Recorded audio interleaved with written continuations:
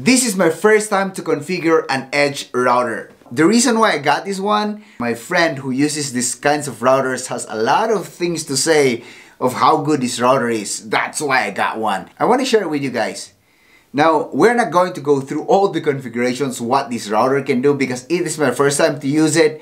So my main goal right now is to get it working how we get the internet working with our home network. Let's go ahead and get this one working right now.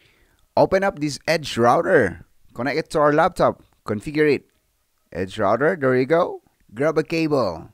Plug it to our USB to Ethernet adapter because my laptop doesn't support Ethernet. Here's the router plug it to ETH0 that's what I'm going to use and then look into the box you have the default IP address username and password so you can find that one there second thing in our laptop we need to go to that uh, Ethernet connection and go to change adapter settings or change adapter options let's click on status check this one out so it's basically getting APIPA automatic IP address. So there is no DHCP server running on our router. So what we're gonna do, close this and set our adapter into a static IP address. Okay, properties and then IPv4. Use the following IP address. We're going to set this one as 192.168.1.10. So that's the same network with the router. With the default gateway, we don't actually need this one during the configuration, but we can just put the IP address of the router.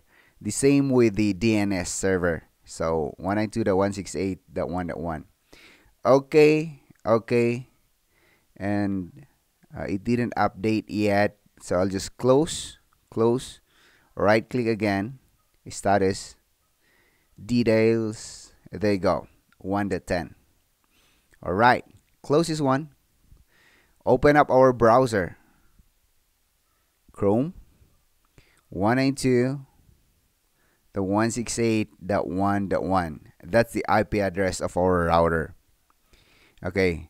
Just go for advanced and proceed to 192.168.1.1 now let's use the default username and password that is ubnt ubnt okay. Whoa. So this is my first time. I haven't seen this dashboard for EdgeMAX or edge router so it's our first time we can click for yes okay we, we'll get back here let's just get a tour of what it looks like inside and uh, yeah this is cool routing, firewall NAT, services, VPN. Well, I don't actually know how to configure this yet. So I need to go and try to research some of how you can do it. So let's go ahead and do one two LAN.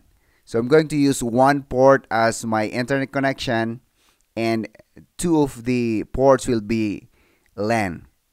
So ETH0, this ETH1 will be my 1 wide area network.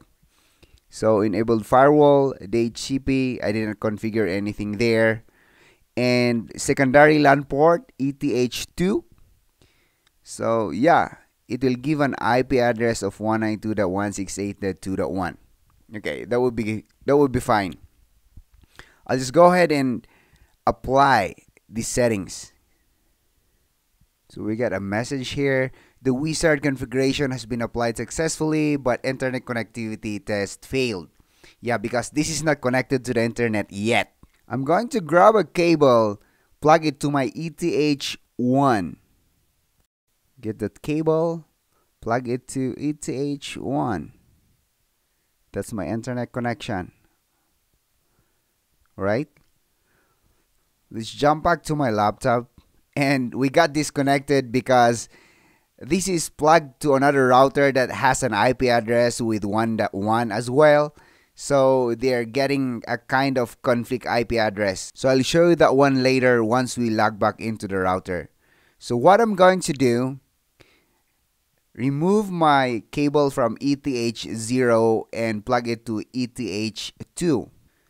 Back into my laptop, we get back to our adapter settings, Ethernet, and change adapter options. We're going to set this one as obtain IP address because we set this one before as static. So there you go.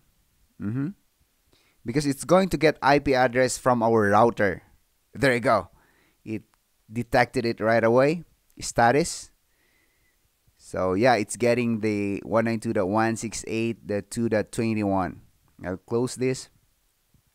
Get back to my browser. Change this one with 192.168.2.1. So that's the IP address of the interface or the router that we're trying to connect to.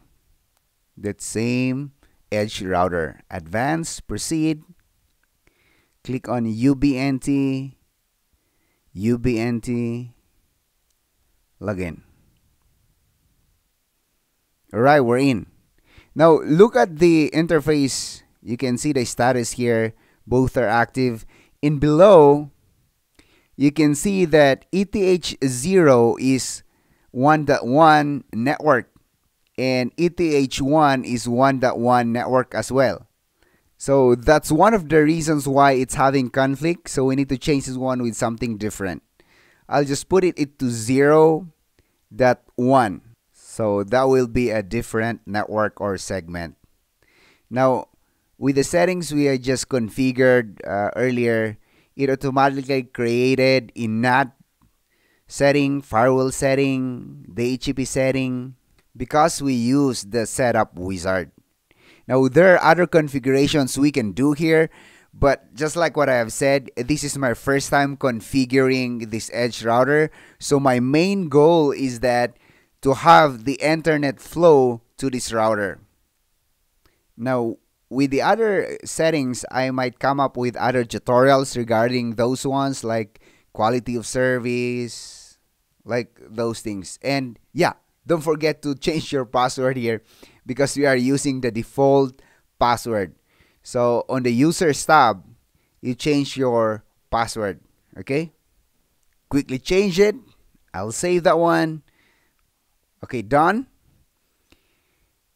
And let's go to YouTube and try to do some internet because that's our goal to have internet connection through the router or this edge router Lite. So yeah, it's pretty good. Hope to make more videos about this edge router. So if you like my videos, don't forget to subscribe, hit the like button, share to your friends. See you in my next tutorial. Bye-bye.